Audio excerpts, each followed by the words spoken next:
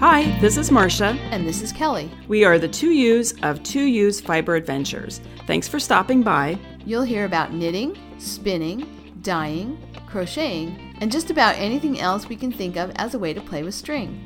We blog and post show notes at TwoEwesFiberAdventures.com. And we invite you to join our Two Ewes Fiber Adventures group on Ravelry. I'm 100 Projects. And I am Better in Motion. We're both on Instagram and Ravelry, and we look forward to meeting you there. Enjoy, Enjoy the, the, episode. episode.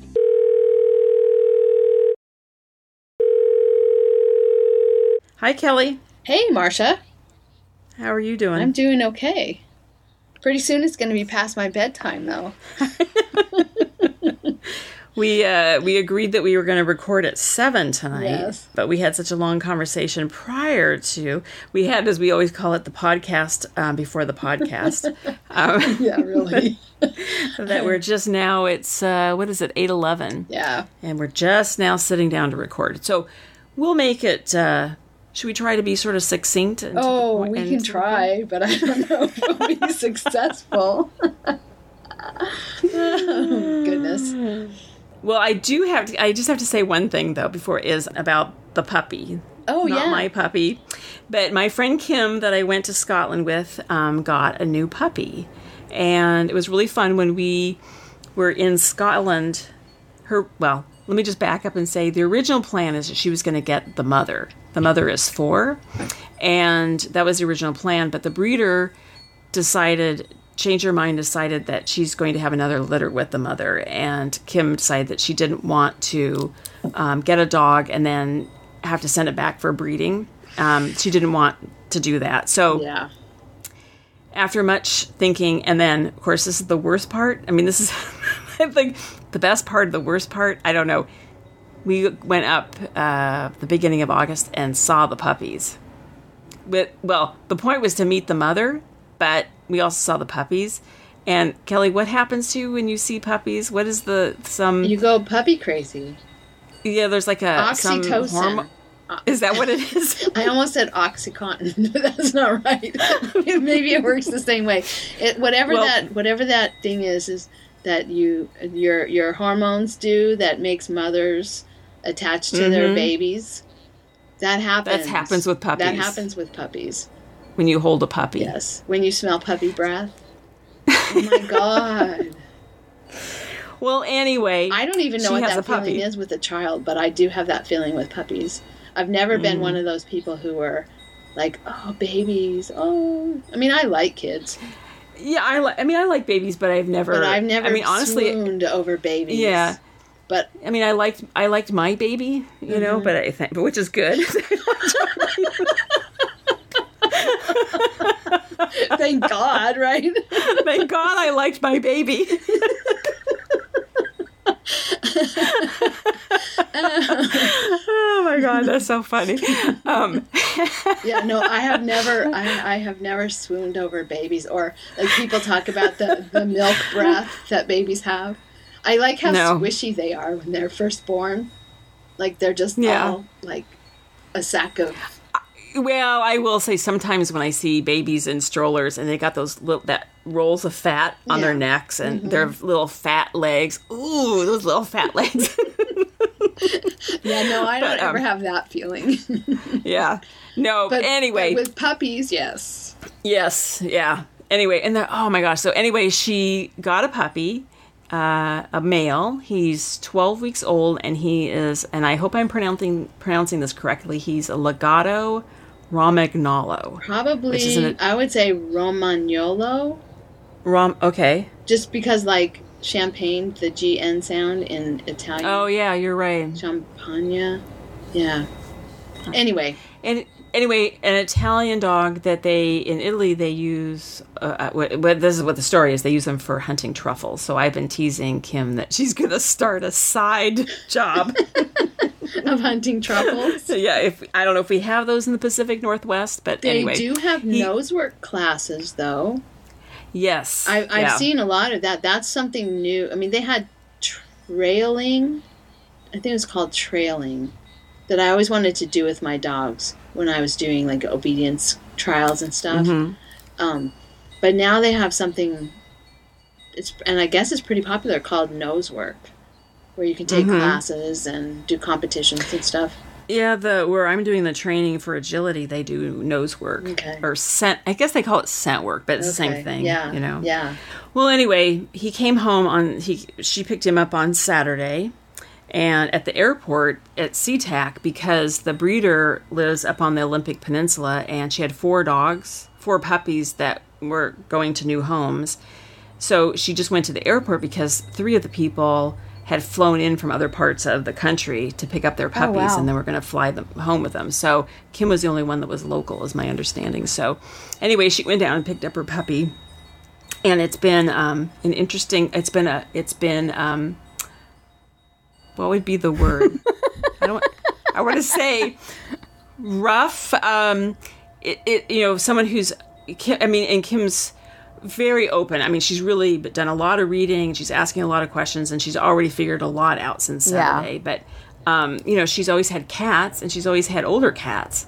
Um, so now she's got a dog and a puppy, and so she really today Saturday night was really rough. Said that Saturday night was rough, and Sunday night was really rough.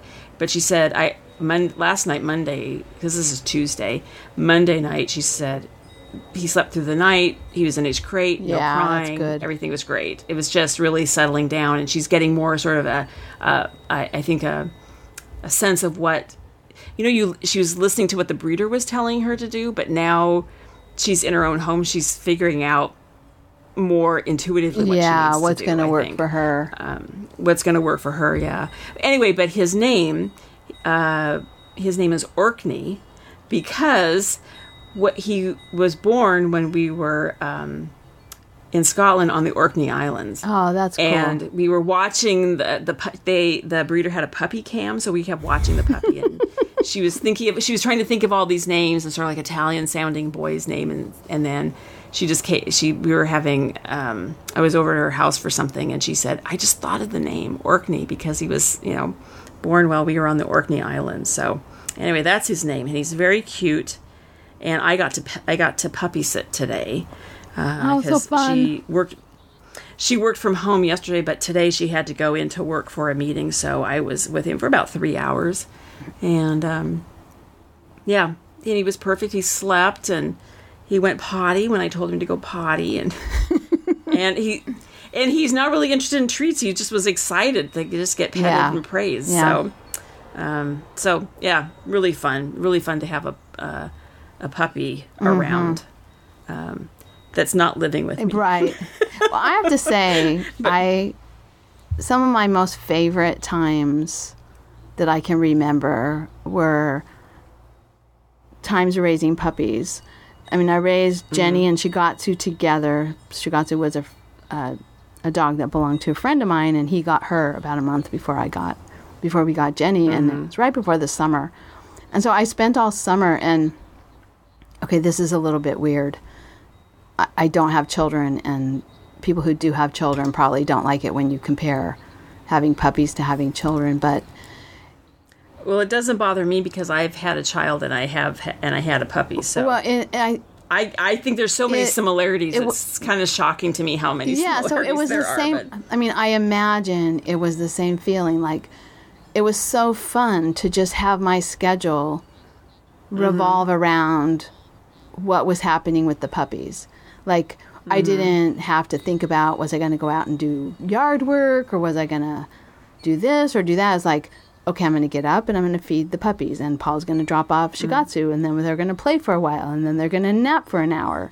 And then mm-hmm. once they nap for an hour, then we'll figure out what fun thing we're going to do to socialize them for the next two hours. And then they're going to nap for like mm-hmm. two hours. And like my whole day was just all arranged around the puppies. And then I did it again for, well, for our dogs. Um, and then I raised somebody else's puppy when, after Robert's mom died, his sister bought his dog, his dad, a dog for Christmas. Mm. She died at Thanksgiving, and and his sister brought his dad a dog at Christmas Eve. And so then they Oh, I never heard oh, yeah. story. And, and they came. oh so gosh. then then everybody came. We invited them. We were having a brunch that year on Christmas Day, Christmas morning.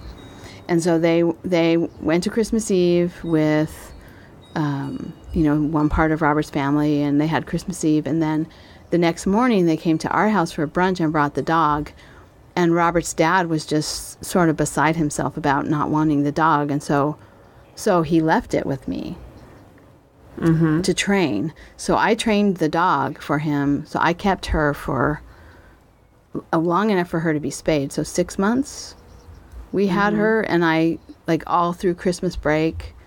And then you know I took her to work with me in the in the van in the crate, and took her out and walked her during breaks, and did some training. Took her to I don't know if I took her to puppy to puppy class. I can't remember, but anyway, um, and then he never ended up taking her. Robert's sister took her after I was done training her. But, but yeah, I mean that was so fun. And then I found the pit bull Hank that that mm-hmm. showed up in our in our court, and I raised him. And so yeah, I I used to like raising puppies. I I do think about all the hardship part of raising puppies now and think, oh, mm. I'm a mm-hmm. little old for that. I don't know, but I really liked it back when I did a lot yeah. of puppy raising. It was really fun.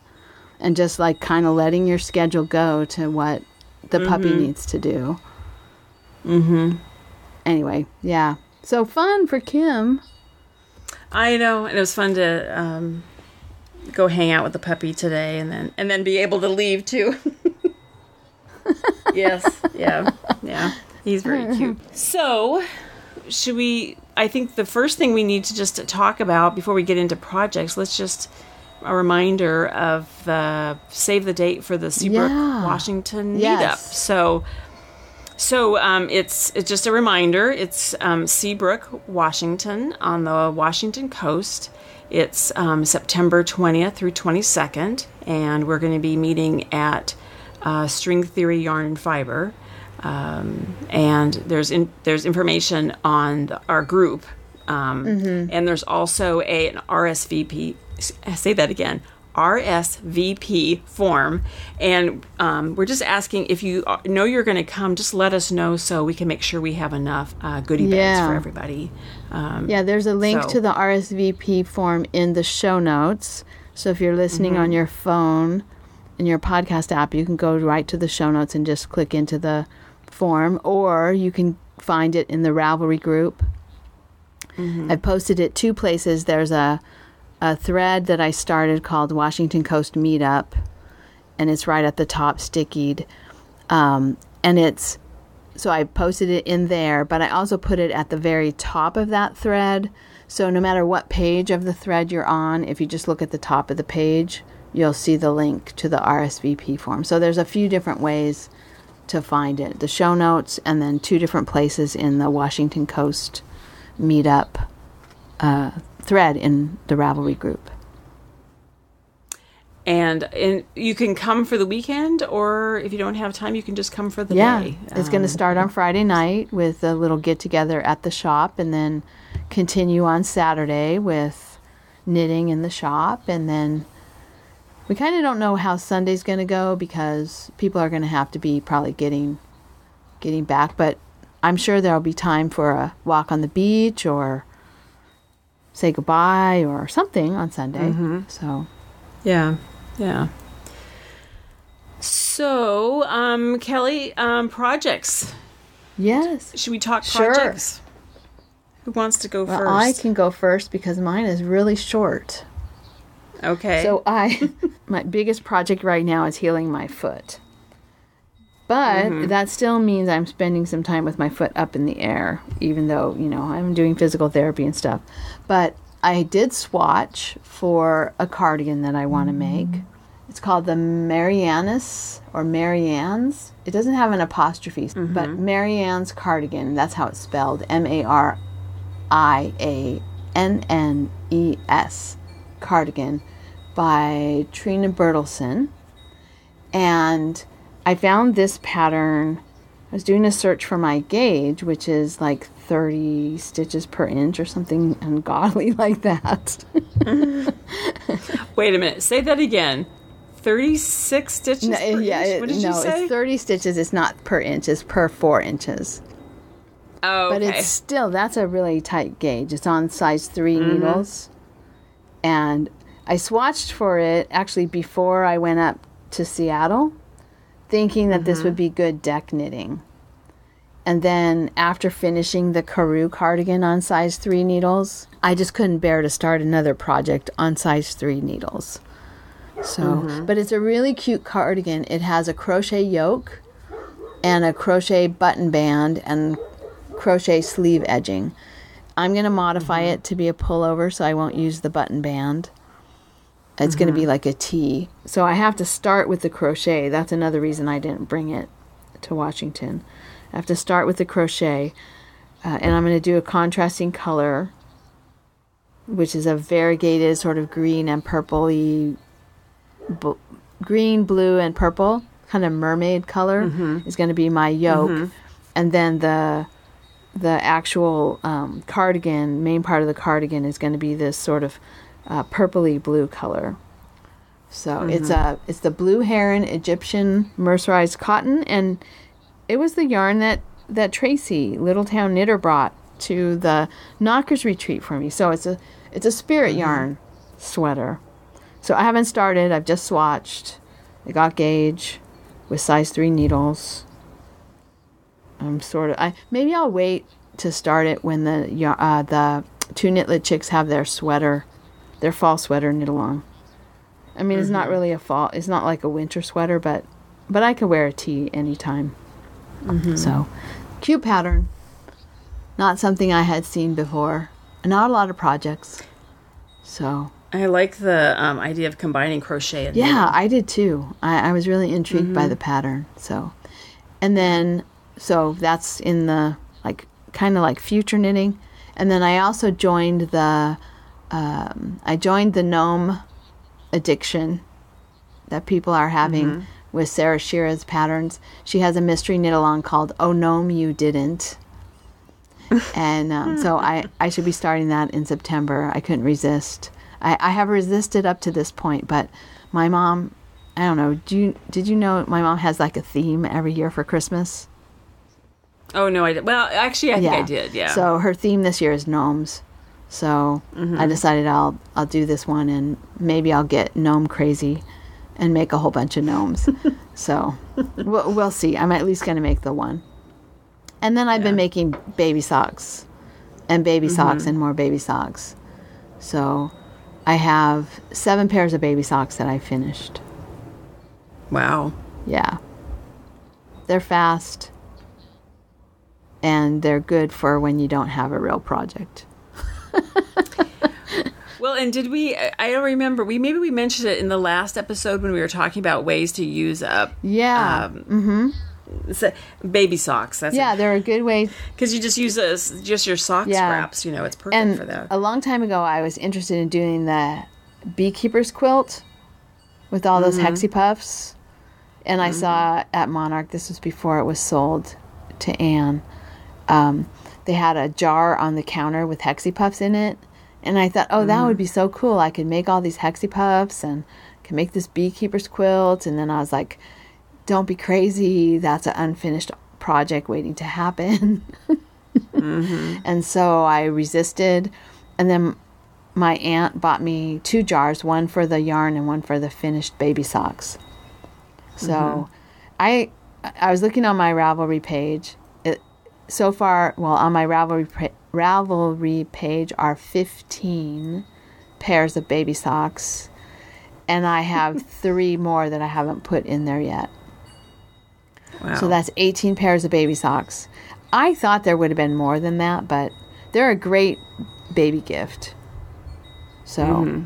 I, I said that just last time on the package. yeah. You know. So I have, Yeah. and I have a colleague who's going out on maternity leave in October. So I think I'm going to just bring her a bag of baby socks and put it on her desk one of Mm-hmm. these days. So, and then I have another colleague who is had her second granddaughter. So I I think I'll make a I think I'll make a little sweater for for her granddaughter and then add a pair of socks to the mix. So, but that's my that's the sum total of my projects. Nothing very exciting. Well, you've been working on a bigger knitting project, which is knitting your foot back Oh together. yeah, so yeah. Oh, I, I should Yeah. tell you, I did call to order the yarn for the Sunny Bono jacket. oh, thank goodness, I can sleep at night now. when I called Amazing Yarns, uh, the guy I talked to, he said that they didn't have any in, but they were supposed to get some in about two weeks, and it would be probably from a different goat. And so he he, and I said, well, I have another skein, and so I can alternate skeins for the sleeves. I don't think that'll be a problem. But then he suggested that I send him a piece of my yarn, which I did today. And then, so when he gets them in, he's going to take out the piece of my yarn, compare it to the skein he has, take a picture and send it to me. And then, um, you know, we can correspond and, and I can tell him what I think. I think it'll be fine. Okay. I'm not worried.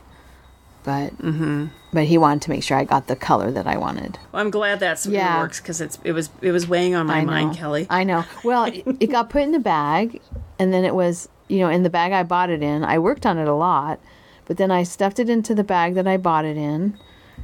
Then I broke my foot, and then we moved a whole bunch of stuff into the living room because of all the stuff that's happening with the electrical work, and now the painting, and um, the bag got sort of stuffed behind, you know, beside the couch in a place where I couldn't see it, and out of sight, out of mind. So. yeah, yeah. But no, it's back. It's back Well- on the. It's back on the docket as soon as I get my yarn. So. Mm-hmm. So what about you? I'm sure your project th- uh, project portion is a lot more interesting than mine. Well, I'm excited because I have finished objects. Oh, woohoo! Break out the champagne. oh, that's right. so, and I, actually, I do get the bottle of champagne because I have uh, two sweaters here. Two So I sweaters, finished- wow. Woohoo! Well, okay, a T-shirt. So, and maybe this is not fair because the same one that do you remember a couple episodes ago I said Oh I right. finished the this is like a lace market. second finish. Yes, I get two bottles of champagne because it's the second finish. um, no, anyway, we talked about this that it was uh, the neckline was way too big, um, so that the it was actually sort of beginning to fall off my shoulders. So I ripped it out. I did it yesterday. Is that right? Yeah, yesterday, and um, picked up. I went down another needle size, fewer stitches, and then the other thing is it was when you the the neckline you're supposed to do uh, three rows of stockinette Uh-huh. and then bind off.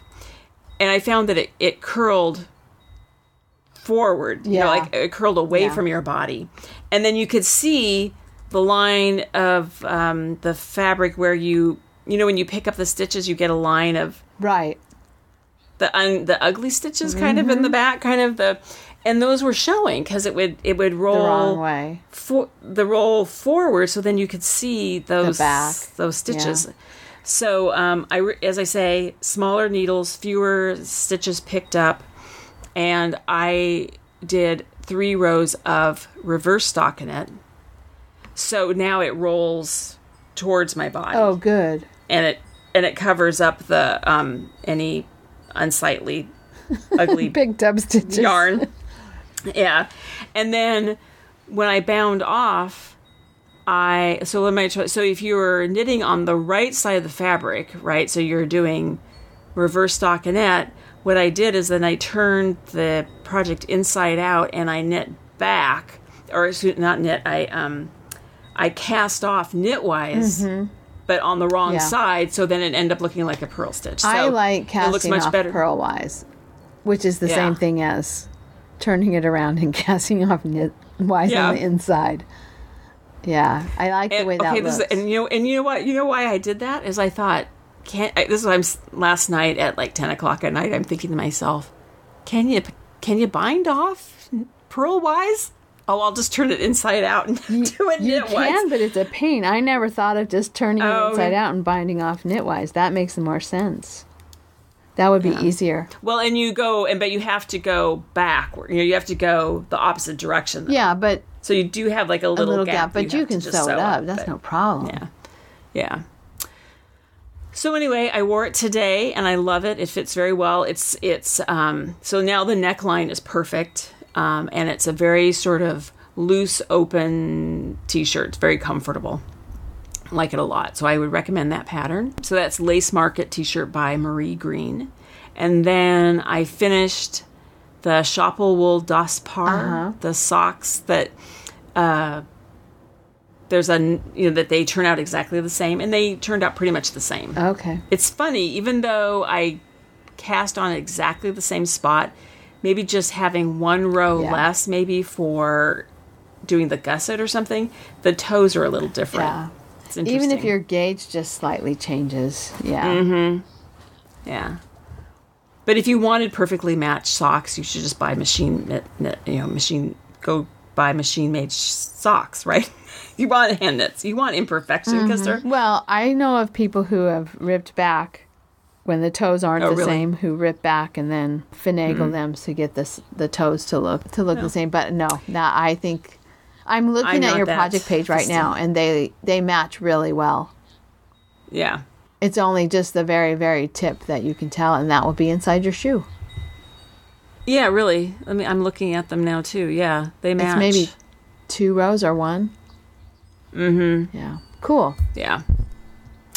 So, um, and then um, I finished the cardigan Fine Sand by Heidi Kirrmeier.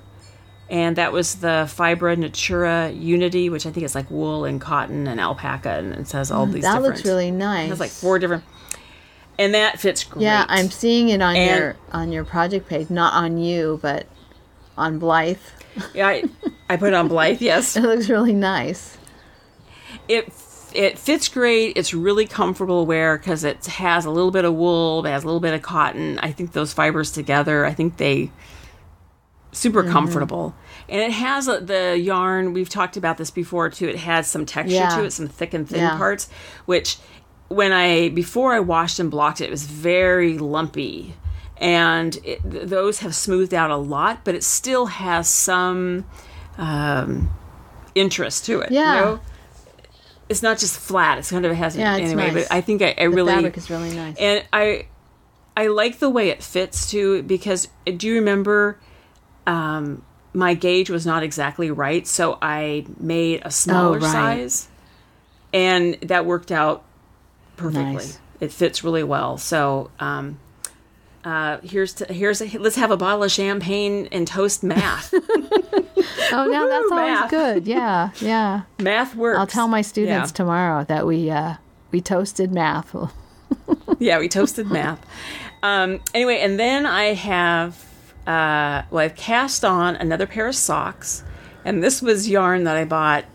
Actually, I looked on Ravelry and I bought it in 2015, so four years ago. But I'm using stash. Good, yeah. using up my That's stash. good. So just casting on a pair of just what we call them vanilla socks for my brother, and I'm using it's. Uh, I don't know how to pronounce it. Like Shock, Schockenmeyer. Schockenmeyer. Re- okay, Regia, design line by Arne and Carlos. Oh yeah, The- yeah. and so, and the oh, I forgot. I didn't write down the Fall name. But Night. It's, it's. I'm looking at your Yes. project page. It's the fall night colorway. I don't think I have a picture in there yet. Do No. I? I have I have three projects on there now that don't have pictures yet, but I will tell you about them. Um, so I these are going to be for my for Mark because the last pair of socks I made for him, the um, you know the afterthought heel mm-hmm. socks, I when I made those, I measured his foot, and that's exactly. I think I was getting eight stitches to the inch, so I made them. I think he's. I think he was nine and a half inches around.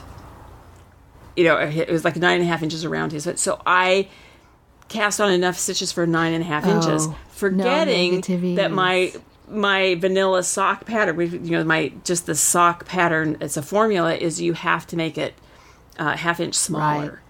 So they're too big. They're very Baggy loose on him. socks. So baggy socks. Yeah, and he's he wears them. He loves them, but he said they're kind of loose. And I didn't tell him. I, I thought he doesn't need to know that I Right, made a right. mistake. Um, and a lot less knitting if I put it right. Yeah. Mm-hmm. If I cast on the correct. I mean, a half. How many? I, I cast mean- on 72 for Robert socks. Yeah, I cast on. I, mean, I do sixty-eight for me, and I figured and seventy-two for him. Yeah. And because if you're getting eight stitches to the inch, four inches is a, four stitches is a half an inch. Okay. But four stitches over that Yeah. horrible tube that I did, that's a lot of That's knitting. right. Extra Yeah. knitting that No, that is a lot of extra knitting. Yeah. Robert complains But, in his um, well, I shouldn't say complains. That's not critiques that Mm-hmm. his socks are baggy a lot of the time. That his socks Yeah. are baggy, but he wears his socks with more negative ease than anybody I know. his socks are so they're like as tight as the compression sleeve that I wear on my ankle. Oh my goodness. He likes his socks to be really tight. So, so Wow. yeah, I'm gonna have to. The next pair I make him, I'm gonna have to make sure I really crank them down a little. but this one, I decided I like doing the um the heels and toes in a in a contrasting Uh-huh. color. So I went over to the yarn shop. I didn't have anything. I had some gray, but I wanted something brighter because Mark does like really Yeah. bright colors. And so this has, it has like a red and a, and like a an orange, like a tomato soup. Oh, uh-huh. You know Campbell's tomato soup color. So I got some uh, red, sort of that color Nice. for the heels and the toes. And then my other project, and this is what I worked on today while I was puppy sitting, is Kelly. Do you remember a number of years ago I made a T-shirt? It was called it's called the Neskowin Shell Oh, yeah. by Kay Hopkins. It was kind of a And, tape um, yarn. Is that right? Um, no, it, well the the linen that I just used is sort of like a tape yarn. No, this was not a tape yarn. It was it was plied. It has all different colors. Kind it has like orange a on the orange side. like orange and blue and I do it has all remember these it, different yeah. color. But the overall look sort of is like beige kind of, but then you start looking at it and it has all these different colors and it's really that doesn't sound very pretty, but it's very pretty yarn. Anyway, the Neskowin shell, and I put a I, I put a link to it in the the show notes because I think I might make it sometime. I you remember. I'm was looking like at the pattern garter page right now. Yes, I remember this It's one. like garter stitch over the shoulders, and then from like the you know mid chest kind of down, it was this um, drop stitch pattern. So it's really open, and I was Mm-hmm. it makes sort with of. These couldn't do it. lozenge, what we call lozenges Mm-hmm. in weaving, sort of these lozenge Yeah. shaped openings. So anything I'm going to say about the pattern, I'm now going to say this is n- the designer is Kay Hopkins. This is nothing negative about her pattern. It was all me. I could not do it. It was so struggling to get the the needle through the yarn as on those drops, the stitches that you you would wrap around. How did Like it go? I think you times wrapped or something. Yeah, or something. I don't know. I could not. I was really struggling with it, and I thought, and then I got worried. I thought it's going to be too Mm-hmm. open, and I don't really want to wear a shell underneath it like everybody was doing. So I decided I just won't put that drop stitch pattern, whatever it is, in there. I'll just do stockinette. Right. And so I even went and bought another skein of yarn, and it's still. I thought I've never worn it because it's too uh, dense a knit. The way Mm-hmm. I knit it, it was too dense. It was for a cotton. It's it's too heavy and Yeah. dense. It's actually hot. I should have just made persevered and made hers because there would have been all those openings, Right, right. air to go through. You through. had um, ventilation. And I and it's funny because a lot more people have made that the Neskowin shell now, and I think I probably should go back and make it the right way because it really is. I think people made it. think- I'm just going to put this out there. I think people have Oh. made it because they heard of you you making it. Oh.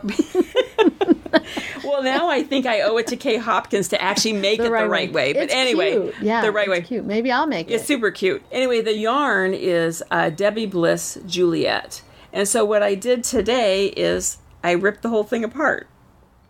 I, I unraveled the whole sweater Okay. because I've not worn. I don't know. Okay, so what's my project page? When did I finish that? How many years I ago just did I left off that? your project page. Let me look. okay, I completed uh, May of 2015. Okay, so it was So so, I've- it was our first spring podcasting. It was the Yeah. first year during the first year. Oh, here it is. So Frogged. Yeah, I I did it on fours, size four needles. So I took it all apart, and what I'm going to make, I'm going to make the lounging top by uh, Yohi Locatelli, Ho ho. and it's just a sim. Gosh darn it!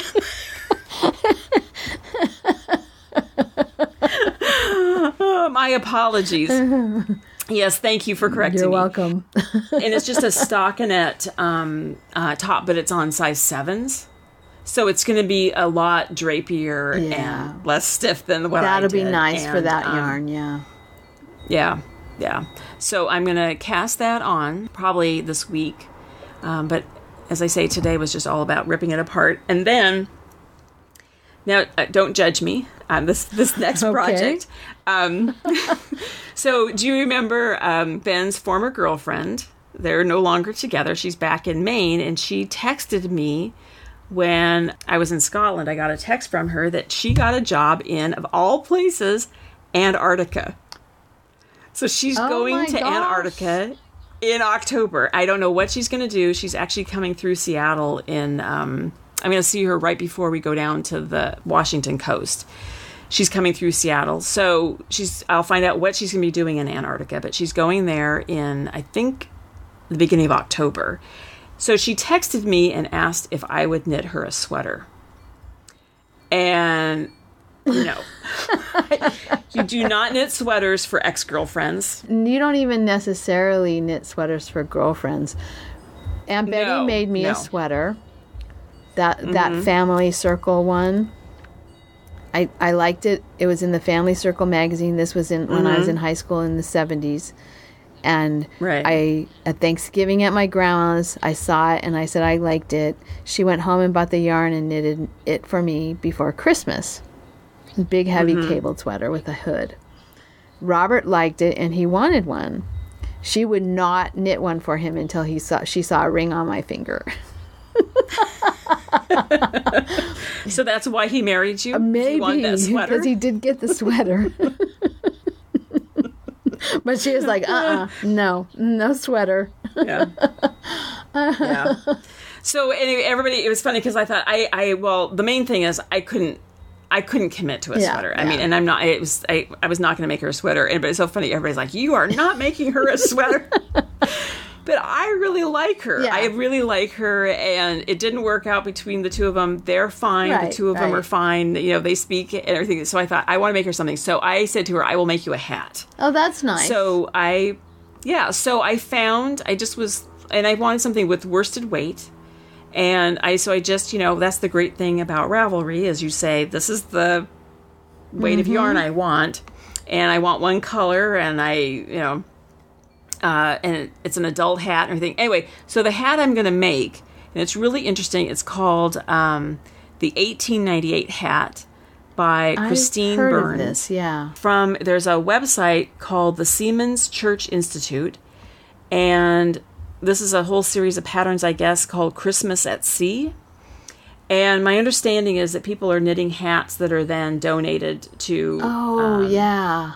people who are are, are working at sea. And I thought, I thought this is kind of cool because I don't know how she's an adventurer, right? Right, She's going yeah. off to Antarctica, and I don't know if she's going by boat or she's going by plane, but um, and it's uh, so I thought that was really kind of cool. The fact that it's for you know sailors, Yeah. sailors are adventurers. You know, um, the yarn I got is um, I went over and I did not use anything from the Goodwill or I actually went and bought yarn and I bought Hazel Knits uh, Cadence. And um, because Hazel Knits is died in Seattle and she lived in Seattle for a while, so I thought it was really nice, nice to have the Seattle con- Keepsake for her. the nice yeah yeah. And the colorway is this beautiful green called woodland. And um, but the hat is really interesting and i was looking at the pattern and i'm going to have to it's not one of those things that i can um, start in a crowd. I'm going to have to sit by myself i think. It's it's garter stitch. It, it's actually um, shaped you know it has like ear Yeah, I'm looking at the pattern. and it has garter stitch around. So it's um you you instead of knitting it from the um like from the bottom to the top or the top to the bottom you actually do a provisional cast on and you knit around the head. Mm-hmm. But you but you do a slip stitch in there somehow. And this is what I, i'm talking about this and i've not actually done it. So i may be wrong on this. But you do something to so that you eventually fold this um, uh, garter stitch piece in half So and then you pick up those two Yeah. where those two So selvages meet. Then you're going to pick up and knit. Yeah. So it'll so where it is going to be around the ears, it will be Yeah. double. So which will be really good for um, nice. I'm assuming even in um, so she's going to be there October, November, December, January. You know our winter months, but it's their summer. But I imagine even the summer. Yeah. in Antarctica is Yeah. pretty cold. So um, Oh no, that looks good. and I thought it would. I thought it's really interesting hat, and um, so that's what I'm going to cast on next. And then once you've Um, made it, I'm looking at the project pages right now. There's 4,110 projects. yeah, and then if you look at them, people It's like all a kinds blank of things canvas. Yeah. It's like a. So yeah, I'm looking at the most recently finished one, or the one that's that's first on the project page. And maybe it's not the most recently finished one, but it's uh, the ear flap part is just plain red, and then there's like a Latvian braid separating the ear Mm-hmm. Yes. Mm-hmm. flap part, and then the rest of it's buffalo plaid, red and black. Super cute. Yeah. And then there's another one that's uh, got that same design, but it's a like a black and white or gray and white buffalo plaid design. And then there's another one Yeah. with color work. Okay, yeah, you could get like crazy with this pattern.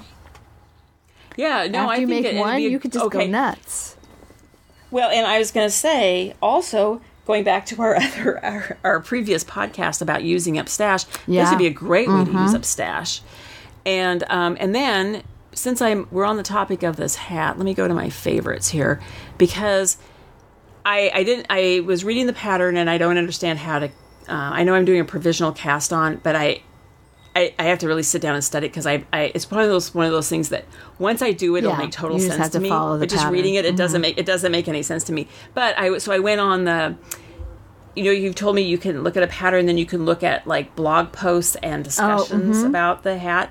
So I found there is another hat called the ear cozy cap, and if you put in um um is this if I got this one right? Yes.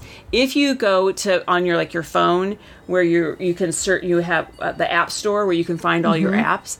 If you put in the ear cozy cap in your apps, there's an app just for the hat, and it will. I know, and um, but it'll give and, and I I didn't I haven't done it yet, but apparently the discussion was it's it's very similar to the um, the 1898 Mm-hmm. hat that I'm going to make, but this app lets you put in um, like the exact size of of head that you're making Oh it for, um, and so you can modify the hat with by. So I think that would, if anyone's interested in making the 1898 hat, you can also look at this ear cozy Yeah. cap. Um, and it, the ear cozy cap it says by the knit fitter Well, and i don't know who and that is I'm looking at somebody's project page right now and how you how you make the sort of double layer for the bottom. You Mm-hmm. could even when you make if you wanted to, if you needed to, when you make that double layer, you could actually like stitch in a little extra in the little Mm-hmm. bumps that go back that go down over your ears. So not only do you have two layers of wool, but you could have a layer of something else in there too. I mean, you can make Mm-hmm. it really cozy on the ears. yeah yeah Okay, this sounds fun. You'll have to make an extra one Mm-hmm. to bring to like the to the knockers retreat for the um the hat, the Franciscan brothers. oh hat right yeah Just because I Well, want to see thing one, I- I, want to see one that's already made, you know, in person. Yeah. Well, and if you go to this um, Seamen's Church Mm-hmm. Institute, if you well, if you just go to the because we'll put a link to the hat, but then you know it says published in the Seaman Church Institute Christmas at Sea. Yeah.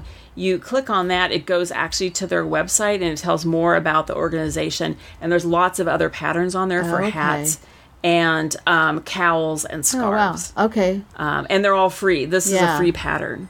So oh, I see slippers, like slipper socks. Uh-huh. A water. It looks like a water bottle cozy or something. Huh. yeah. Cool. Okay. So um, I will. I'll report in. I have to get it done because I think we're having dinner on the September seventeenth Okay. or something. So I have to. I have have to to get, get going cracking. on this one. Get cracking. okay, so let me just see. I think that's it. All I have for projects. All right. So you had a good amount of projects, Marsha. You're you you're busy. I was busy. Yeah. busy knitting. All right. Well, we have some questions from the Ravelry thread to talk about tonight. Um, Yarn Girl 52, Debbie, she asked a question about adding a zipper, adding a shoulder button band for a toddler sweater, and then finishing a button band, using a grosgrain ribbon or not, and using backer buttons or not. So, I guess I'll start about the zipper because I have done well, and, that. And I, I'm just going to interject here to say, I've done none of this. So I, I, I actually have questions about it, and I was actually really glad that she asked some of these mm-hmm. questions, especially the question about the ribbon, um, because uh, I did a little research in preparation, and one of the things they said about adding a ribbon to the button band is it will um, reduce the temptation for the sweater to gap. At, okay. Um, and and I have that problem yeah. all the time with my sweaters. So um, I I'm actually in, really interested in this topic, even though I have nothing to add to this topic. no, I'll do my best because I did do some research. Yeah, so, well, and anyway. you can try it maybe yeah. too, and then report yeah. back in a little bit. Yeah. So, yeah. yeah. So. so we'll so we'll start with steeking. Uh, we'll, we'll start with adding a zipper. So I was thinking, okay, so what does she mean by adding a zipper? So there's two things that could be done. One is to steek to add a zipper to a sweater that's designed as a pullover. Mm-hmm. Um, and then the other possibility of adding a zipper is adding a zipper to a sweater instead of adding a button band. Mm-hmm. And I have not steeked to add a zipper, but I have steeked. So in when I did the uh, pillow, the Clover Bee and Reverie pillow, mm-hmm. is a colorwork uh, pillow. They have you do it. Mona Zillah is the pattern designer, and she has you because it's colorwork. She has you do it in the round. Mm-hmm. But it's not. It's just the pillow top. It's not the whole pillow. So you mm-hmm. do the pillow top in the round, but you add like five to seven stitches at the edge of the chart, and those are your steek stitches. And so mm-hmm. once you're done with this tube, then you stabilize the edges and then you cut. Like you cut, it's an odd number of stitches because you're going to cut up that center stitch. And so I did do that. I steeked and I did a crocheted steek and I actually did it on superwash yarn, which they say you're only supposed to steek on really sticky yarn.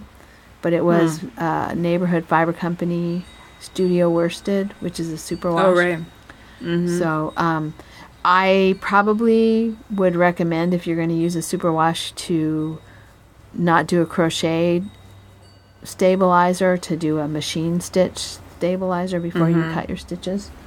Mm-hmm. Um, but anyway, so steeking is one way to do it, and then those extra stitches that you have in the middle that you cut right up the center of, they fold mm-hmm. back like a hem, kind of. Mm-hmm. And then if you sew your zipper on, you would sew your zipper like behind those two layers. Mm-hmm. So you'd have like a double layer of fabric, and then your zipper would sew on behind it. And I think it would make a really seems like that would make a really nice edging to the zipper, like kind of a yeah. kind of a rounded or mm-hmm. um, I want to say like tubular, like a tubular bind off almost right mm-hmm. on on either edge of the on either edge of the zipper. So I've done I've done a steek, but not for putting a zipper in. Once I did the steek, then I just those were just the hem edges of my pillow top, and then I mm-hmm. sewed fabric onto the back. So, but I think it would make a nice edge to sew a zipper into. Yeah. If you wanted to do that. I contemplated it with my the Orcas Run sweater the Cowichan mm-hmm. sweater. That sweater is knit flat, but it's color work, which means you have mm-hmm. to do mm-hmm. color work on the purl side. Mm. Oh, right. And which is not all that fun. mm-hmm. um, especially in the places where you have three colors mm-hmm. and you're mm-hmm. doing color work on the knit side and then purling back to do color work on the purl side. But traditionally, the Cowichan sweaters were done both ways. They were done, um, some of them who learned the Fair Isle technique, because it comes from the Fair Isle technique. Um, some of the uh, Salish people who did them using the, the women who did them using the Fair technique did do them in the round and steek, and others of them did them flat. And the mm-hmm. pattern that I had was in the tradition of doing it flat. So I just followed the pattern. But if I did a second one, I think I would do it in the round and steek it so I didn't have to do color work purling. Mhm. So so that's so that's one way to put in a zipper. And then the other thing that I have done is with the mealy vest, that's a pattern by Hilary Smith Callis. It had mm-hmm. button bands, and I decided I wanted a zipper vest. And I love that vest. I get a lot of wear out of it. And I get more wear out of it, I think, with the zipper than I would have with the buttons. Yeah. And it's got negative ease, which with buttons would have made it gap. Mm-hmm. But with the zipper is perfect. I mean, it's exactly the fit that I wanted. Tiny little bit, or maybe zero positive ease it just got it's just a nice like kind of snug fitting vest mm-hmm. and so what i did there i just made the and you wouldn't have to do this this is doesn't have anything to do with the zipper but i did make the button bands a little bit wider mm-hmm. and then it had you put the collar on first the collar is like a ribbing and then it's folded Mm-hmm. So you have a double layer thickness kind of stand up collar, long stand up collar. And you do that first, and then you put on the button band and you pick up all the way up. So I did it in the reverse order. So I picked up for the button band 1st mm-hmm. So that when I made the collar and I folded it over, it would fold over the top of the, the raw edge of the zipper. Okay. Does that make sense? Do, do you kind mm-hmm. of picture that? Yeah. So, because I don't, I didn't want the top part of that zipper showing, and I also didn't want it like up against my neck. Right. So, um, and then I just sewed the zipper in my. I have to say, this is probably not right. I mean, I don't think there's rules. Um, I've done enough sewing, sewing that I knew how to put in a zipper, mm-hmm. and so I just, but I sewed it in by hand I've put in a zipper by machine too, but that's a little scary because um, if your machine gets kind of wonky because of the fabric mm-hmm. and you mm-hmm. get like thread barf, you know yes. that what happens sometimes under the mm-hmm. un, on the underneath side with the bobbin. Mm-hmm. Yeah. It's hard to get it out if it's knit yeah. fabric. But I have sewn in a like you know practice knit, uh, sewing on the knitting, like on the swatch to get the tension right and sewn in a zipper by the machine. But it's just easier to sew it in by hand. Yeah. And so with my vest, I just sewed it. I had a tapestry needle that was one of those sharp ones that I talked about before that I like for weaving mm-hmm. in ends. Mm-hmm. I just used one of those sharp tapestry needles and yarn and sewed it in. And it worked fine. And and it stayed in. Yeah, right? it's, it's, never come it's, come out. It's, so it's in, and it has you know it has um, negative or zero positive ease, so there's tension on that zipper all the time, and it's fine. It's totally sturdy in there. I just I pinned it, you know, pinned it really good, and um, then I zipped it up to make sure that it was in the right place. Made some adjustments, and then I unzipped it, and then I just sewed it down. And I sewed it on hmm. the edge, and then I came in a little bit from the edge, and I sewed a little bit in from the edge so there wouldn't be this big floppy. Like I want when you sew with a machine, you kind of sew close to the not too close to the zipper teeth, but mm-hmm. you don't sew like on the very edge of the zipper. Right. And so I sewed both places. I sewed on the very Okay. edge of the zipper to hold the edge of the zipper to the fabric. And then I sewed closer to the zipper teeth to hold it kind of flat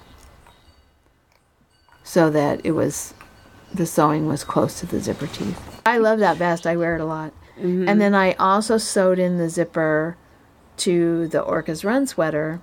In that one, because I was going to enter it into the fair, and I didn't think sewing it in with yarn was quote right. I sewed it mm-hmm. with thread so it would be less visible. So I sewed it into this. I sewed the zipper there in with thread, but I sewed it by hand. So I made little tiny stitches, you know, all around the zipper, and I think I on that one because the fabric was so thick, I didn't have to sew closer to the zipper teeth. I think I just sewed it on the edge of the zipper. So, Okay. but yeah, it's it's not something to be afraid. It's especially easy if you sew it by hand. I think. It seems like it'd be. Um, I well, I'm not sewn in a long time, but it sometimes it goes too fast. It Yeah. seems like if you're sewing it by hand, you could make some adjustments Yeah, to to make mm-hmm. sure that the you know nothing's You can keep zipping it up tight. and making sure it's in the right place and mm-hmm. unzipping it again so you can sew it. yeah You have a lot more control. yeah And it doesn't show. I mean, it's, it's not ugly. It you don't see it. You know. yeah yeah. So it actually looks very nice and neat, and so I I would recommend. I would highly recommend sewing in a zipper, and sewing it in by hand. And you can mm-hmm. even sew it with the yarn if you want, because that's what I did. It's more visible on the back side of the vest because you can see where the you know where the stitches are with sewing it with yarn. But mm-hmm. but it worked fine. So yeah, don't be afraid to put in a zipper. Okay. That's what I would say. So sweaters that I've made, like you said, one of the things, like if you if you use a zipper instead of the um, buttons, especially on something with negative ease, you get the gap gaposis, right? Mm-hmm. Um, can you do it after the fact, like uh, sweaters that are done that I, um, that I, I guess you'd have. Well, you'd have to remove, you'd have to remove the, the band, the. If you had buttonholes, yeah, you definitely You'd have to. Re, you'd have. you'd to have to do it, something right? with your buttonholes, yeah. You'd have to remove it and reknit the placket, and then Yeah, I think so. allow for the zipper. Yeah. Yeah. If you had one that you didn't have any buttonholes in for whatever reason, like let's say you hadn't put buttons and buttonholes Mm-hmm. in it, you could put a zipper in it. Yeah. Yeah. Um, I know that some people who have a cardigan, I've heard them, if they didn't like the gapping, they just sew the cardigan closed. Yeah. No. And then you just wear it as a as a pullover. But I don't I can't wear pullovers. No. Wool pullovers. I get too Yeah. hot. I'd get too hot. Yeah. Yeah. But I do. I like a zipper. The thing, though, that I would do differently about my Cowichan sweater, so I first put in a zipper that was the right size but the wrong color so that I could wear it to our camping trip mm-hmm. two winters ago. But I knew I didn't like the color of zipper, so I was just basted in. And then I mm. tried to get the color zipper that I wanted, and it they only had it in a too long of a size. Mm-hmm. So I cut the top off the zipper and then I really stitched it so that the zipper pull wouldn't come off. Mm-hmm. And then at the end of last winter, I went to zip it up and zipped the zipper pull right off of the zipper. Okay. So now I need to replace the zipper, not because I sewed it in wrong, but because it wasn't the right size and I didn't tack that tacking that is supposed to hold it so the zipper can't come off. Mm-hmm. I, yeah, that was a problem. So one of the things that I think I would do if I made a sweater again that needed a zipper is I would first find the zipper and see what size my zipper is. And then I could have mm-hmm. adjusted my sweater more easily to match the size of the zipper mm-hmm. than find a zipper that's the right size of the sweater. Although there is a website called zippers.com or something where you can get custom mm-hmm. size zippers. But if you just want to go to Joann's or wherever your fabric store and buy a zipper, you might as well make sure that your sweater, the zipper part of your sweater, comes out to 16 Mm-hmm. inches if there's a 16 inch zipper. Okay. And don't make it come out to be 17 inches because there's no 17 Mm-hmm. inch zipper. And there, I thought there were zippers that you could. I thought there was a way you could buy a zipper that was too long and just cut it down, Well- and then there was a Yes. there was something that you. You can. And you have to Okay. take that metal piece and you have to move it and crimp it on. Yeah. Or you do it with stitches, which is what I did, and Okay. it didn't actually Okay. work. Okay. If I had if I had been able to like with pliers undo that little metal piece at the top and then crimp it, mm-hmm. maybe that would have worked. Okay. But I decided to do it with thread and it didn't work. okay. So anyway, lessons learned. yeah, learned. putting on a zipper is not nearly as difficult as finding a zipper that's the right size. so, and then the other part of the question was about button bands. So I have done backing buttons. I did backing buttons on my funky grandpa sweat sweater. I really like them. Um, I No, why why do you like them? Well because I got to use twice as many buttons from, Oh, that's right. from my button stash. I couldn't decide which buttons to use, and so the ones that were small I used on the back as as backer buttons. It makes the buttons feel more sturdy. They're not as they're not floppy. Mm-hmm. I think the button band of a knitted sweater, a, a hand knit sweater, feels it feels a little floppy to me. Mm-hmm. Like the the uh, the Norwegian sweater that I have from REI. I really like the button band on that sweater because it has like a double thickness. It's a folded button band. And I like Yeah. I like the idea of a folded button band, but I've never knit one. Well, and I, I'm just gonna say, I'm just gonna throw this out. I don't know if this is true or not. It does seem like now we are knitting our sweaters at a much looser gauge than than like the Norwegian ones Yeah. for sure. Um, and so that makes makes, and if your band is at that same gauge, it's gonna be more Floppy. floppy and dra- and drapey, right? So I wonder, like this, there's um, sweaters that were knit at a tighter gauge. They probably didn't even need to have. I mean, well, they have the backer buttons, but they probably didn't. Like we're going to talk about putting like a um, grosgrain ribbon on mm-hmm. there. They probably didn't need to have. They had more. They had more Right. heft or mm-hmm. substan because the whole sweater was more substantial. Yeah, and then if you um, did a if you had a folded button band like this sweater that I have, mm-hmm. Even more durable. then you really don't need anything Yeah. backing it. You don't even Yeah. need backer buttons really because it's really sturdy. Yeah. But I I yeah, I think if your button band feels flimsy, it's nice to put on a a backer button.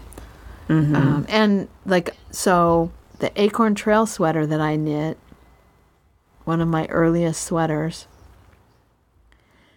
That sweater, the buttons are some kind of natural material. I don't know if they're stone or they're antler or what, but they're really heavy. They're some of the I had separated out the buttons that I knew were some kind of natural material. You can just tell by the feel of it. They're not plastic. Mm-hmm. And those buttons are really heavy and I I did not I was not able to find grosgrain ribbon to put behind the buttons mm-hmm. and the button band. That was a good color. And so mm-hmm. I just put the buttons on without it. And those buttons are way too heavy for that button band. And that yarn is crisp. crisp. Crunchy. It has some. It has some heft. It's to it. like a. I mean, I think it's a Harris tweed. I I, I don't know because I it was D stash yarn, but it's got the Kemp in it, and it's itchy, and it's yeah. and I and I plied it. It was singles that I plied together, so that yarn has some sturdiness to it. And but that button band is still too floppy for Yeah. the weight of the buttons. So in that case, a a grosgrain ribbon button band would be important. And I haven't done it. I haven't. I don't wear that sweater hardly at all. So mm-hmm. that's it's too it's too itchy. well, and the buttons are falling off. I mean, that's part of the problem. Not only are they floppy, but they're starting to come off because they weren't solidly, you know, they weren't secured. So I have to mm-hmm. I have to mm-hmm. do some mending to that sweater. So that's what I would say about grosgrain ribbon. You don't always need it, but if you want to prevent gaps or if your buttons are heavier and mm-hmm. your yarn is kind of floppy, it's kind of a good way to make it more sturdy. Yeah. But I haven't ever done it. Just full disclosure, as Marsha says. I've never done a grosgrain ribbon on a on a sweater. I'm just looking at your gardening at 90 sweater, which is your acorn. Yeah, yeah. No, that thing will last forever. But the buttons. We did those together. Mm-hmm. We did in 2014. Yeah. Hmm. I need to get that sweater out and get the get the buttons fixed. Well, and I the thing about that sweater, and this has nothing to do with the button band necessarily, but the buttonholes, the the the directions for the buttonholes were ridiculous. It was just you made a yarn over. Oh, it was a yarn over knit two together, and you can't even find uh, on my sweater. I can't even yeah, find. I made mine bigger because you did yours first and complained about it. Yeah. Yeah, it was. It's yeah. No, I I I think if you're using a nice crunchy wool, mm-hmm. afterthought buttonholes are the way to go. Yeah. Yeah. That was a pretty pretty slick trick from that was in the Funky Grandpa, and I can't remember who. Somebody has an afterthought buttonhole tutorial out there because it was referenced in the pattern. But anyway, yeah, that was good. So, do you want to talk about the ribbon then? So yeah, I. Oh no, I'm sorry. I'm sorry. We no, we're not done. We were going to talk about um the her her, her other question was the um, shoulder band um, for like a child sweater. Yeah. So the I was thinking about that, and I haven't ever done that either. But it got me thinking about, and I started trying to figure out what it was called. You know, the neckline of like onesies, mm-hmm. and and so I started googling different things. Anyway, finally, I found what you have to call it. It's called an envelope neckline. Okay. I don't think that's what. I don't think that, that Actually, that's what Debbie meant. No, because like a onesie, an envelope is like the the shoulder, like it, like the fabric crosses. Yeah. yeah.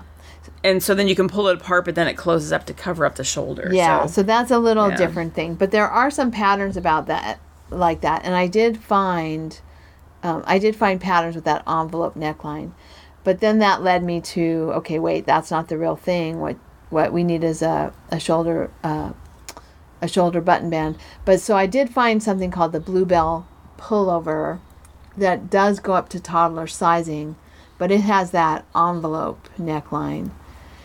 Um, and then the other pattern that I found, and you have to you have to go look at the website, Marsha, that I linked to for the Diggory sweater. Okay.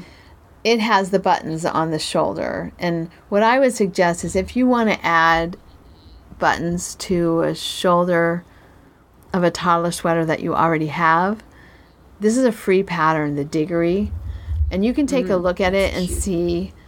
First of all, the the picture of the baby, the very the baby, one, that that frowning face is yeah, little just frowny cracked face, me yes. up. This baby is frowning so bad in this picture. yeah. But um, it's a free pattern, and then you can take a look at it and you can see how that neckline is done and kind of use that to hack your pattern. I don't think this pattern's free. Uh, it's a br- Diggory. Diggory. This mine. Um, it says uh, six dollars. Oh, I thought it was a free pattern. Oh, I don't know how that happened. I thought I was getting a free pattern. So I went in and I put in shoulder button bands, shoulder buttons, toddler sweater or something like that, and I did a search this is the cutest. that baby's picture is so. You cute. have to buy. You have to pay six dollars for this pattern because of that baby. Well, it's all cabled. It's it's a really fancy sweater. My point was that you could find a free yeah. pattern that mm-hmm. has that, and then you get the free pattern and you look at it and kind of analyze how they do it, and then that you can use that to hack the sweater that you have.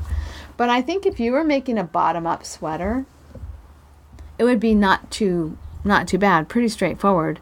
You would just get to the one shoulder and instead of binding, you know, instead of joining the two shoulders together at the top, you would just make a button band on each one and then put in buttons and buttonholes. Mm-hmm. So I'll have to look and see if I can find a free pattern. Maybe I just got too enamored by this frowning baby. The baby. I I could have sworn I put free pattern into the Ravelry search engine, the advanced search, but so that's what I did. Shoulder buttons, toddler sweater, free pattern into the advanced search and I found it. But that's what I do a lot when I want to hack a pattern a little bit. I mm-hmm. find another pattern that's free that does it's not the pattern I'm looking at, but it does kind of the same thing. I have also bought patterns that had the technique I wanted and then mm-hmm. merged them together. But first I'll look to see if I can find a free one. Yeah, yeah. So that's I don't know if that's helpful at all, but if you're doing a bottom up sweater, I think it would be really simple to make one of the shoulders just have buttons. Mm-hmm. So you can make that neck neck bigger for a toddler. Or you could use the bluebell pullover. Maybe that's the free one. Oh, here, let me look. Nope. That one's seven dollars. I don't know. I thought I was looking for free patterns. Apparently, I was not doing a very good job of that. It doesn't matter. You're supporting a designer. How's that? Yeah, yeah. So, once you kind of know the technique, you can then like merge the patterns together and make a hack. That would be my suggestion. Mm-hmm. Okay. That's a good idea. Yeah. Okay. Well, I now so now the ribbon Mm-hmm. on the band. I I've never done this, and I as I said, I was really glad to get the question because I think it would probably solve the problem I have with my um, cardigans gap gaping. Yeah. Um, and so, as I say, I've not done it before, but I did look online and Olive Knit. So I put the link in the show notes, but there's a, um, directions about how to add ribbon to the button band and the, the buttonhole band. Um,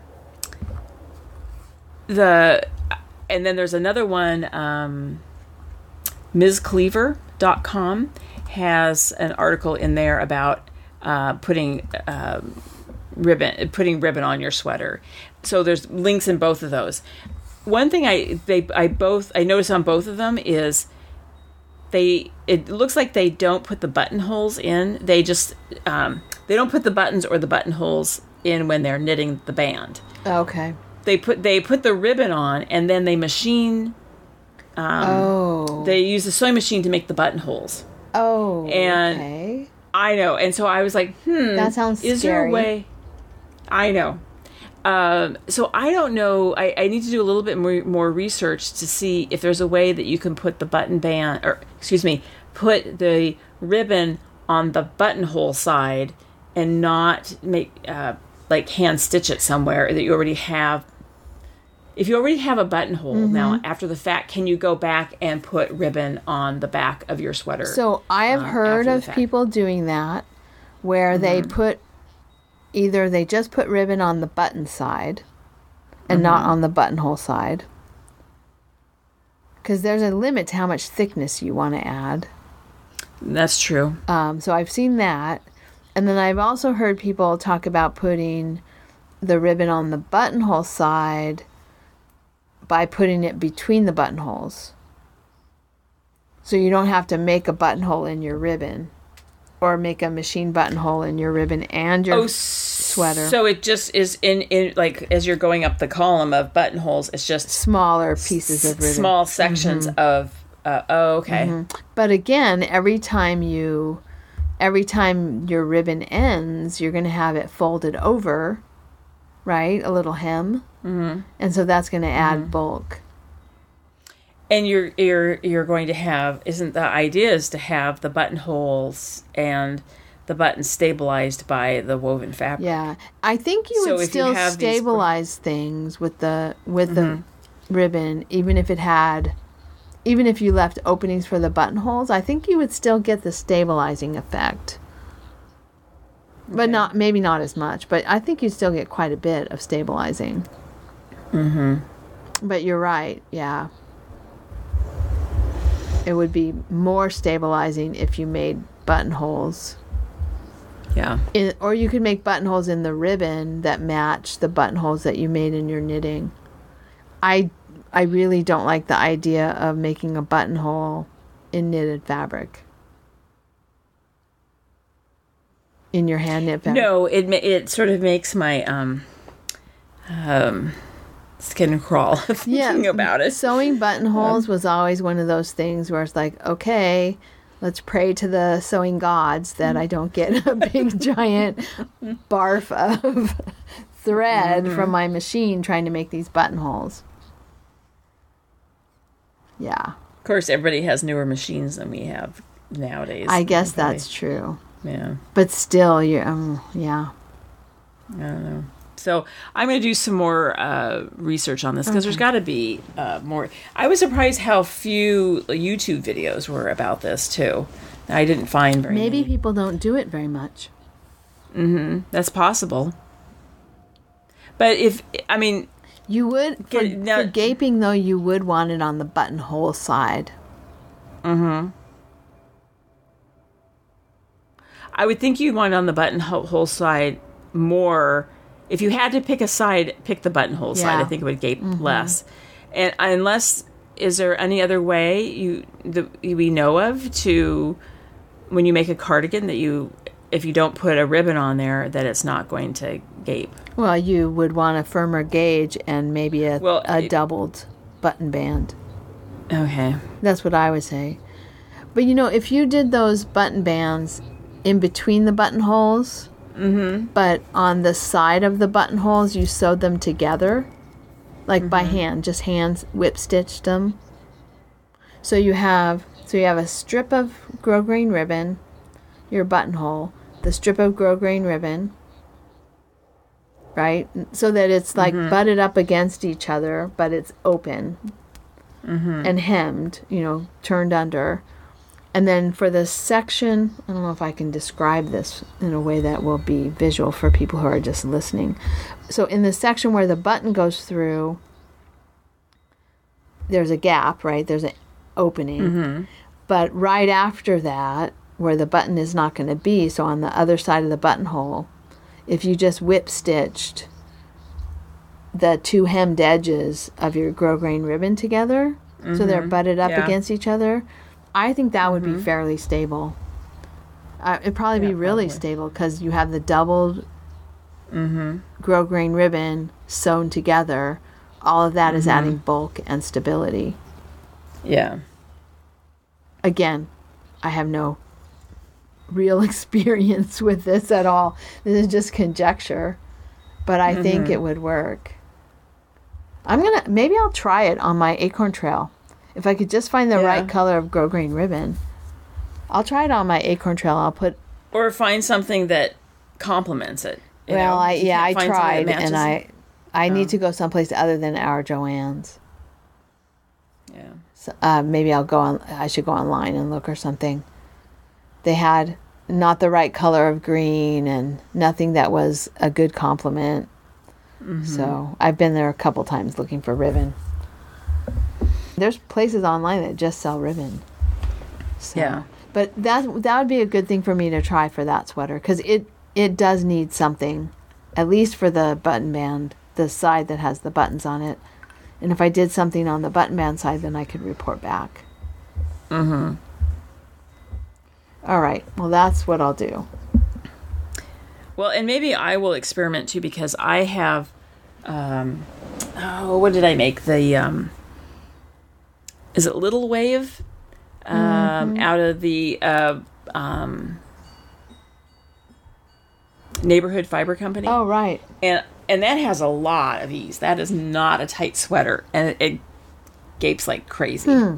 I hardly ever wear it. I mean, I love the feel of it, but I don't wear it because it's. Um, I don't think it's very When you flattering. button it. Okay. Yeah. So that's a project for us. Yeah. So I. Oh yeah, Little Wave. That's who who who did this. Oh, Good Gudrun Gudrun Johnson? Johnston. Okay. It's her pattern. Yeah. But I wonder if I could add. um I bet you could. Do you like what Yeah, you're talking? yeah. Yeah. yeah. So Debbie, we talked a lot about your questions, even though we don't we have any experience. just shows we can talk about anything forever. we, don't need to be experts. Oh man! But hopefully you got Okay. some good ideas about That'll teach people to ask us right, questions. No, ask us questions because it makes us think. Yeah, and, no, it's um, fun. and I am kind of now thinking I might um, rethink this one sweater. I have a, I have a. Well, you know, I got into the habit of not making cardigans with buttons because I didn't like that. Yeah. If Uh, you could that solve that, it. problem, you would. Yeah, I would to- totally make cardigans Yeah. with buttons. So, okay, All right. Well, Marsha, okay. Have we reached the end? it's way past my bedtime. It's way past my bedtime too, and I don't have to get up and teach in the morning. Oh yeah. All right. Well, I will let you go, and we'll talk in two weeks. All righty. All righty. Bye. Bye. Thank you so much for listening. To subscribe to the podcast, visit TwoEwesFiberAdventures.com.